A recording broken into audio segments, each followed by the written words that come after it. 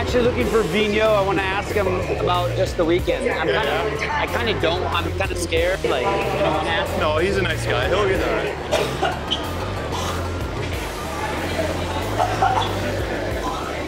So you're not faking the sickness? No, man.